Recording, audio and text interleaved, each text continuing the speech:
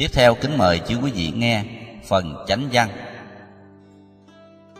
Đào mà biết mùi thơm bát ngát, Rực bụi trần, mặn lạc thấy ai chữ nam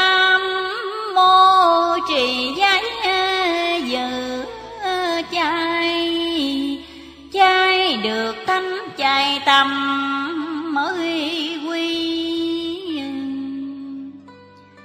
trong đạo phật quá nên quyền bi, chỗ tâm thần tỏa vị nơi thân. Muốn à, cho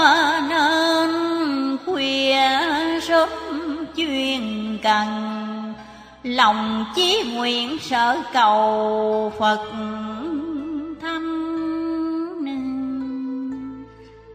được giải từ câu 81 tới câu 88 Nền đạo mà ai hiểu được, cái lý cao siêu kỳ diệu trong đó, Tất thấu đạt được cái lý thơm tho.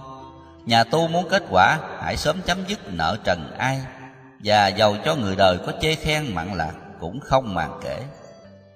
Đã quyết chí tu hành. Trì chay niệm Phật Nhà tu phải cố gắng giữ cho đúng.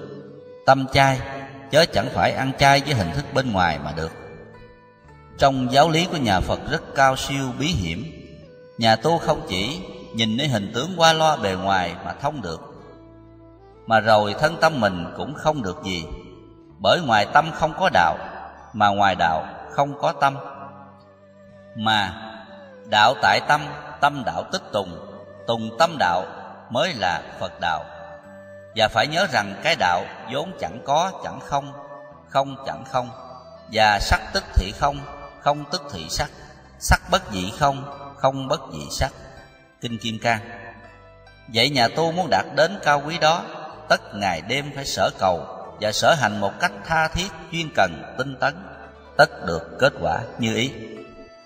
Chú thích nam mô phạn ngữ là nam an tào dịch là quy mạng và cứu ngã. Cũng có nghĩa là quy y, tức chịu quy phục, nơi đức phật và cầu ngài cứu độ mình, đức thầy từng viết, nam mô lòng sở nguyện cầu, chúc cho bá tánh muôn sầu tiêu tan. Trì giái gọi là gìn giữ giới luật, đừng cho quấy phạm theo người tu phật, từ xưa thì bắt đầu chữ tam quy ngũ giới thập bát giới 250 giới cho tỳ kheo 348 giới cho tỳ kheo ni. Theo đức giáo chủ Phật giáo Hòa Hảo hiện nay, thì giải môn đồ giữ bát giới là tám điều răng cấm là đủ. Ngài đã nhắc nhở gìn giới cấm sửa tâm ô tạp, niệm phật thì phải dẹp lòng tạ.